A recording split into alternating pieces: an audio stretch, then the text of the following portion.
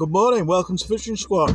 It's the 15th of November, Wednesday, the 15th of November, and we're on our way to North Wales. It's approximately Oh, last time I just fell to bits.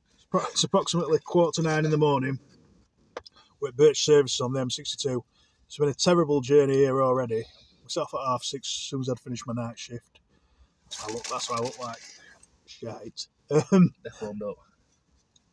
It's just been traffic all the way here so far. So I thought, sorry, we'll pull in, get something to eat from Greggs. Got a sausage baguette, brown sauce with a latte. We'll pull in, have some breakfast. Give traffic half hour. It's- not going to go anywhere that traffic till after nine o'clock at this rate. Um, so yeah. So looking at the winds and stuff, we're going to fish a, a sh- shallower mixed ground rock mark to start with, and then there'll probably be a beach beach session on Thursday, which is tomorrow, obviously, and then Friday there'll be a, a rock session targeting tope um, on a deep water rock mark, the mark we usually fish. Um, that's just planned around the species and, and the conditions. It may change because obviously it's only a small finger of land that we're fishing off on in North on the North Wales coast. Um, the weather comes and goes. Uh, it could change for the better or for worse, but it looks like it's going to be okay. So uh, we'll see how we get on. Um, I'm going to call it possibly ABC Angling Centre and Anglesey for some uh, worm on the way. Um, and then uh, we'll get cracked on and get down the coast. Probably have a couple, Well, that catches nothing. worm, worm that catches nothing. um, probably have a couple hours sleep before we get out tonight. And fish probably most of the night um, till dawn, I'd imagine. We'll see what happens. So fingers crossed. We'll talk more about rigs and tactics and all that at the mark. Um, just join us on the journey there for now. Just been in Anglesey Bait Centre, picked up some worm. We've got uh, five packs of black, five packs of fresh fresh rag, a couple of little bits and bobs. Um, really fairly priced. Tackle to that. Um, it's not the first time I've been here. So we're going to get back in the car and head further down the lane. Right, we're here, just getting some bits ready for uh, the session. Low tide's at half three. We're going to get down there for low, fish it all the way in and back down. Um, we've got a number of things ready. We're going to take some tope rig stroke huss conger rigs. They've all got wire snoods on.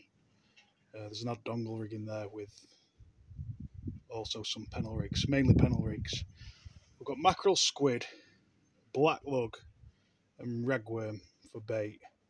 I'm just sorting some chum out. I'm just going to take a bit down because the session we're having on Friday, we're hoping to get on the better, you know, the, the more productive tope mark of the two that we fish. I haven't had a tope of thorn fishing today, but I haven't really persisted with it. So I'm just going to decant some chum into a bucket, a smaller bucket to carry down to this mark, just to, so we can put a little bit of something in, just to give us maybe an edge.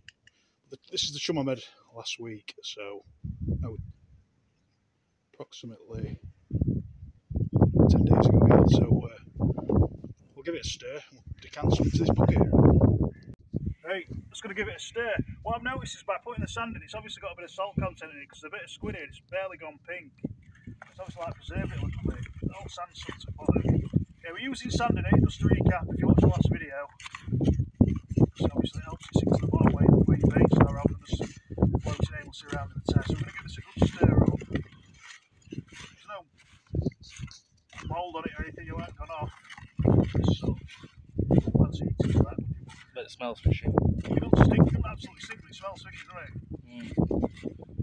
Smell it from here.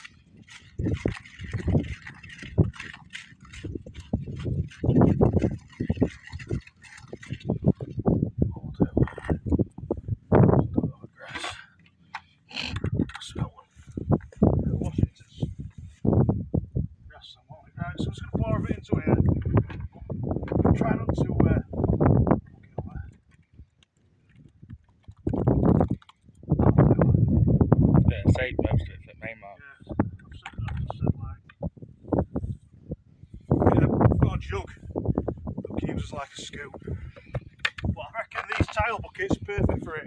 Because it don't, it don't go after point where you want to throw it out. You can't smell it when in car. Just loose loosen a that tile bucket. Absolutely fine. It'll probably start deteriorating now, so quite a bit of air to it, to be fair. Probably just leave that on there. To be, be alright, won't it, until Friday on there. Yeah. So we're taking down wheels. It's not a lot, but if you just chuck a bit in every so often, all labour intensiveness has gone because we've already done it. You know, we don't need to be down there slicing bits of fish up. Done. The huss, every time we do this, the huss show up. So we're not really targeting huss, but if something, if we can get something feeding, something else might turn up. Cod, bass, bream, you never know, dear. Fingers crossed. Right, we're down. I've just been uh, making sure my reels are all functioning. I've just re-spooled both, both my multipliers before I come out. Just been checking them out, making sure the cast all right and stuff. It's a lovely venue. It's got we've got a westerly wind. It faces easterly, and basically it is just so sheltered. Jay's already got one red out on the bottom. Got half a mackerel out on that. On a on a um, circle pennel rig. I've just been testing my reels out. Just fired a lead out, plain lead out. So we're going to uh, fish one Rodway flapper rig. That'll probably be that one, the Tronix Pro Gorilla Surf with a Slosh 30. 25 pound, 70 pound leader. We'll probably fill, fish. We're going to fish the other one with a tope bait, huss bait, conger bait for uh, those species. So we'll get sorted, do some bait presentation, show you rigs, we'll get cracked on. The first rig we're sending out on the Slosh 30, the tuck flapper with ragworm on both hooks, size 10 hooks, size 10 tamers, got 6 ounce gripper, just going to fire that out, see if anything's knocking about. I just fancy using rag on both hooks on first bait up, because I think if, if you're going to catch something different, it'll be on ragworm. The next rig is just a simple pulley pulley rig with a dongle, 8 ohm meat hook. Been using J-Hooks for the, as a dongle in the dongle rig setup. It's, it works fine. Um, I, all the all the dongle really does for me is just gives me something to enable me to clip down into the Gemini splashdown, decent hooks. So yeah, this this will be going getting fired out. It's a short, fairly shortish snood, about 12 to 14 inches, four foot, 200 pound mono, Gemini splashdown, seven ounce lead, simple as that. Jay's just into the first fish at session. It's got a dogfish on a double circle pennel rig. It's took the bottom hook, hasn't it?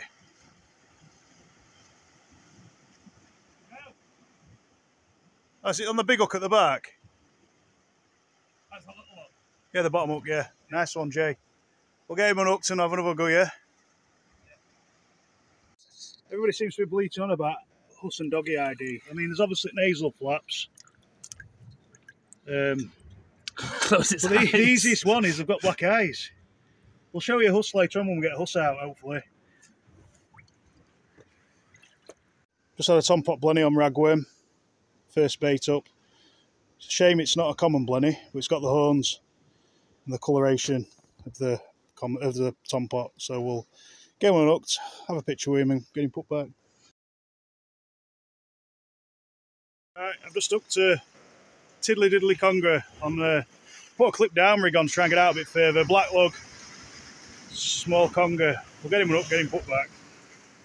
I haven't really had much interest in my big bait, so I've uh, decided to put something a bit bigger on, like nearly a full mackerel with some squid wrap to it on a pennel rig rather than a dongle. So we'll see if see if we can snag something. Oh, preferably not the seabed. right then, guys, I had a bite a minute ago on that big bait. Developed to nothing. I think I might have been had a huss on or something like that. Put another big bait out, and we've got one. Nine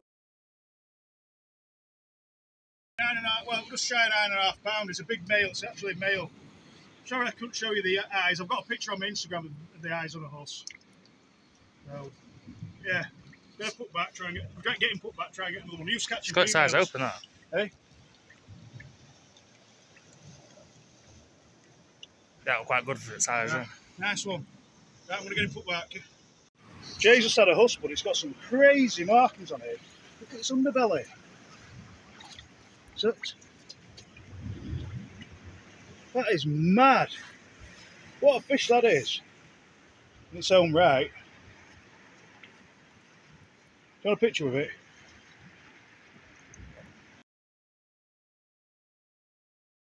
I've just had a dogfish. Didn't even know I had it on on ragworm. Get him up, get him put back. Right, Jay's into something decent here. Thank God, double. Yeah. We had it in a snag and it's freed itself. We'll see what it is because we're going to have to be careful. If it is a us. Oh, wait there, wait, wait, wait. Where's your, eh? where is it? Oh, you've got an us on a flapper, yeah. Yeah. Right, I'll go down and get it. You can see it. Where's it gone? Down here. Right, yeah, he caught it on flapper rig. And literally, I went to grab his main line, but with a swell, the main line parts, it's only £20 straight through. Um, but the swell's down here. I had to go down and get it. It, it's not, it wasn't too dangerous. I was safe what I did. Nothing silly. It was, uh, it a nice one again, isn't it? Another nice, another bit decent one. We'll give him away. Yeah, we're lucky that he got out and snag it. We'll just give it a bit of line and give it a bit of time. It eventually pulled itself out of the snag. So we're going to give him away. We'll get a nice picture of him and we'll carry on.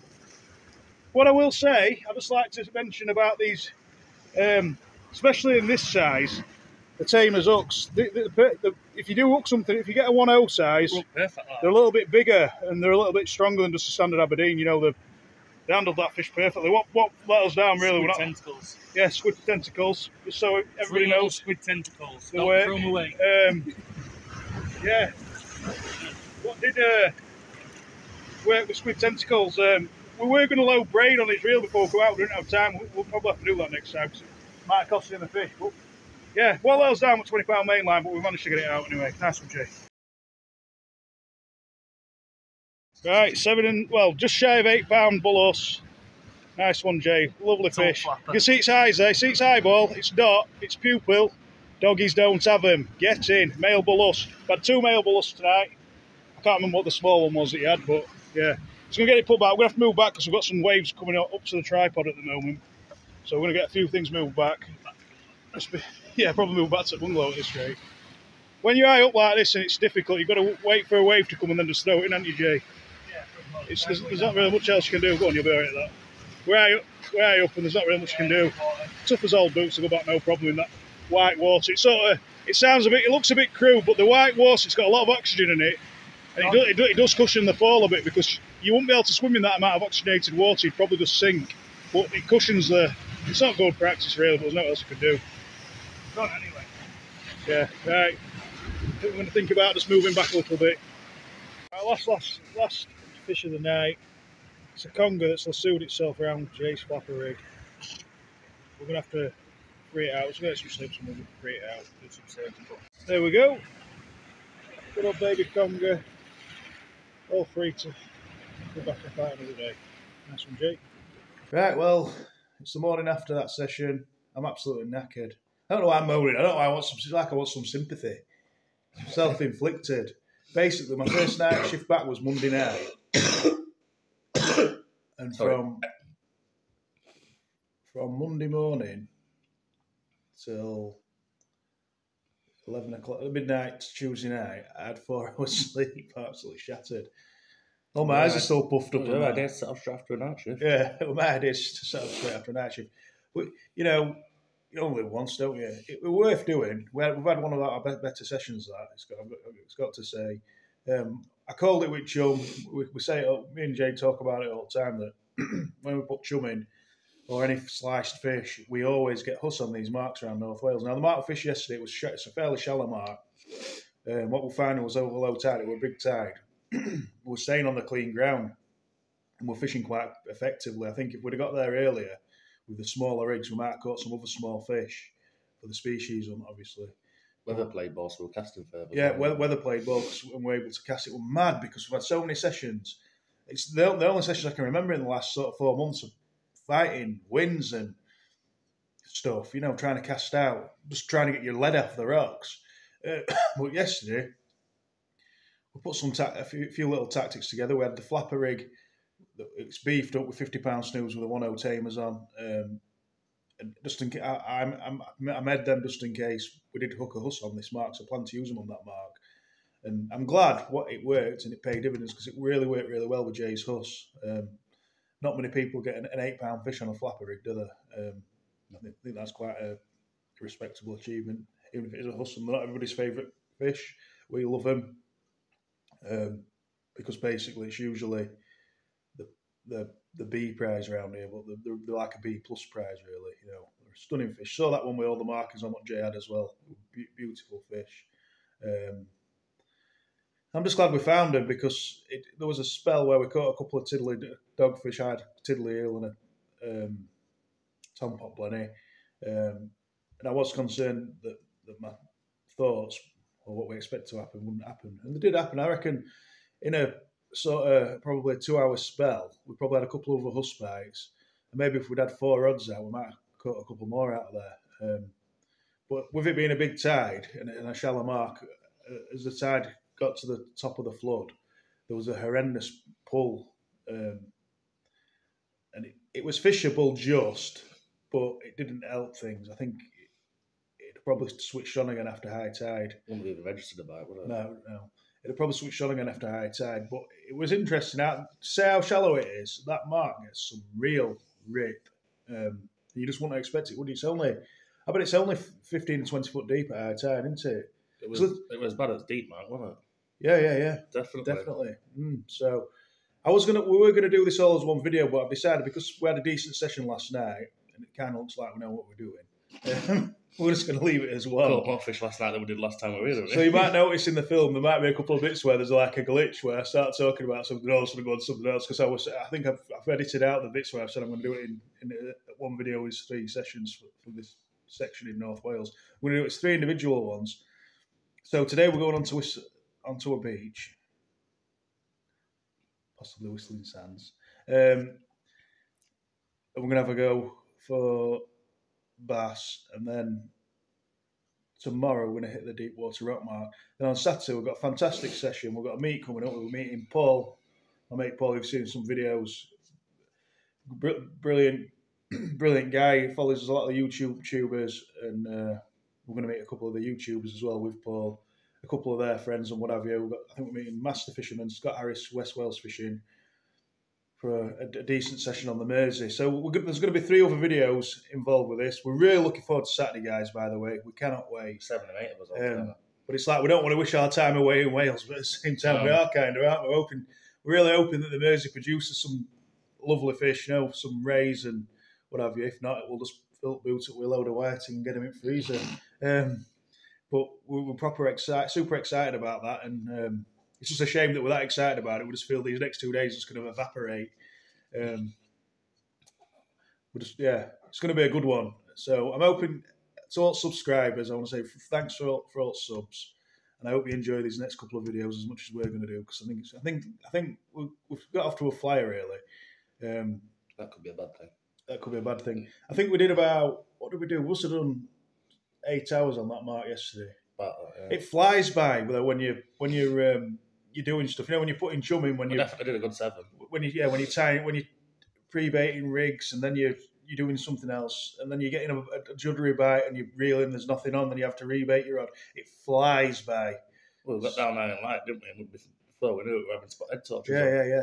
So, well, like I say, overall, we're just happy we had a comfortable session. Just recapping on, I'm happy that uh, we both had us. Um, and just going back to thanks to the subscribers. Hope you enjoy the next couple of videos. Keep an eye out for them. I'm going to get this one on today, so it's so it's available. Um, hope you enjoy it. Um, and I'm, I'm hoping we get some more fish out basically. So we're on what date are we on now? We're on Thursday. 16th, Is it Thursday or Wednesday? Thursday, 16th. Oh, we're on Thursday. I keep thinking we're on Wednesday. I've lost a day somewhere. I've gained a day. um, yeah. So uh, I hope you all enjoy these videos as much as we're going to enjoy them. Um, I think we're going to get some quality fishing because the winds are they've eased and probably should be fishing a deep water rock because we've got the species and we need to try the beach. So because there's at least four species we could between us have off the beach that Jay's I've have got more. eh? I've got more before. Yeah. So we'll see how the beach session goes, and then we'll take it from there.